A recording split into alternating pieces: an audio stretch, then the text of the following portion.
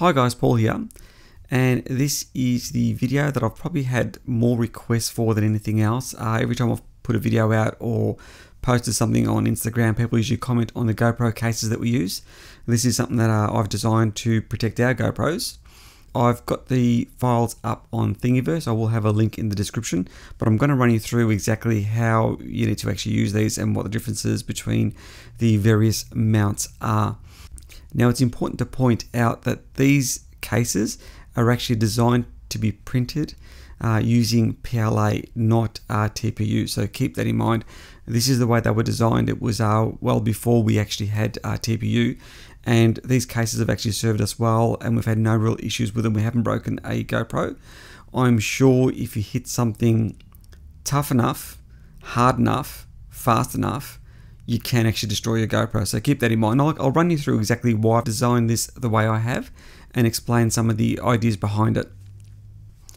So what we have is three different types of mounts and the first two we're going to have a look at are these two guys.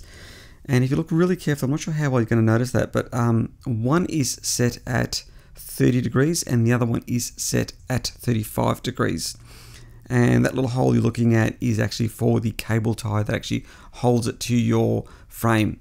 So these will go on a frame similar to say uh, an alien or something along those lines where you can just uh, cable tie it to the top of the frame and I'll show you that little um, in a little while. So two main components. Um, this is the main casing. Now this one is different to the others in that it doesn't have any angling at all and this is the one we actually designed to use with the Helix quads. And if you have a look very carefully, I'm not sure how well you can see that in the video, but you can actually break that piece away.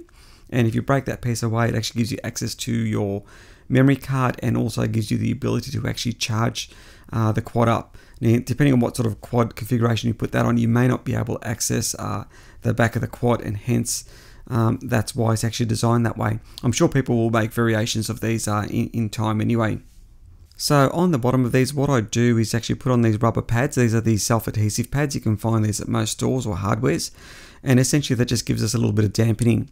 Uh, and then once it actually gets compressed down, uh, that little dampening just eliminates any uh, vibration. You need to actually cable these guys down pretty hard, so keep that in mind.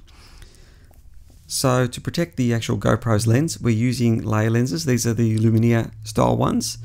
Uh, and that basically gives the lens heaps of protection. So I uh, keep that in mind. I prefer to scratch one of these than uh, replace the lens of a GoPro. So as far as holding the actual GoPro in place, what I'm using is a rubber band. That's probably the best solution I found for this.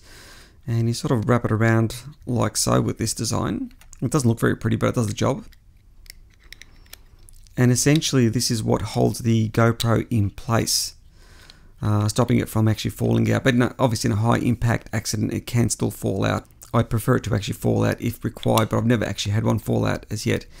And as you can see, we've got a nice strong plate to protect the fascia of the GoPro, and that's what that's designed for. And as far as the rest of the casing, we've got our main holes to access the LCD and the um, start-stop button, etc. We've got little um, holes here, and these are to allow the microphone to still get good sound. Uh, that way you haven't got muffled sound. So what you're looking at here is the GoPro Hero 3 or Hero 4, I'm not sure which one this is, mounted on a Helix quad. And that's the way it goes on. I haven't got the rubber band on there, so keep that in mind. And um, that's pretty much what it looks like. Uh, we've got the access hatch, and that allows us to actually uh, access the memory card and also charge, and the one cable tie that actually holds the GoPro in place. And in a high-speed accident, that cable tie can snap off and it is designed to actually snap off in that instance and you do need to cable tie it pretty hard. So this is the 30 degree mount I think it is um, and that's on an Impulse RC Alien. Uh, this is a 5 inch body with a 6 inch arms and as you can see one cable tie holds it in place and that's pretty much all there is to it. And in a high speed accident, uh, these do quite often snap off, especially in this type of configuration frame.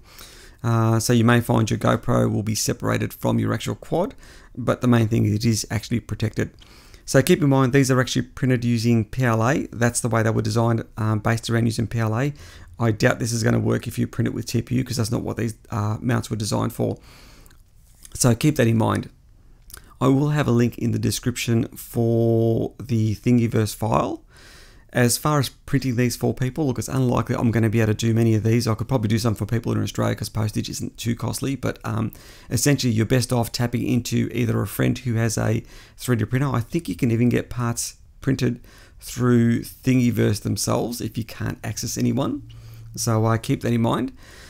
So anyway, I'll leave the video at that. Thanks very much for taking the time to watch this video and I'll catch you guys in the next one.